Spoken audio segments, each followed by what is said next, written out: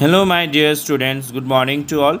Today's date is 29th 4 2021. Subject English, Class 1, Chapter 1, page number 7.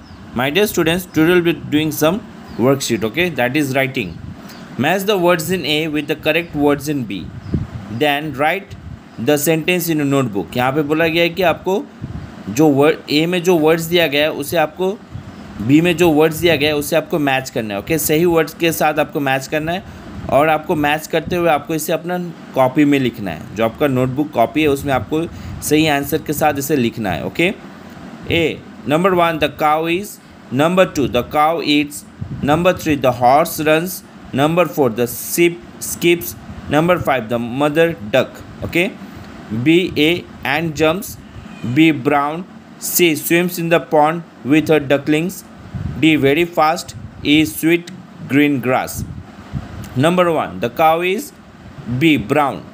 Number 2. The cow eats E. Sweet green grass.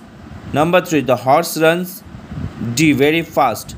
Number 4. The sheep skips A. And jumps.